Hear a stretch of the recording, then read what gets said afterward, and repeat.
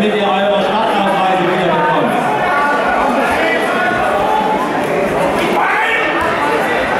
Und es geht weiter mit der Matte 3.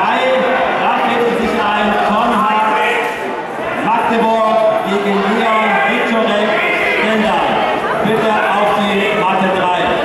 Konrad Magdeburg gegen Leon Viktorek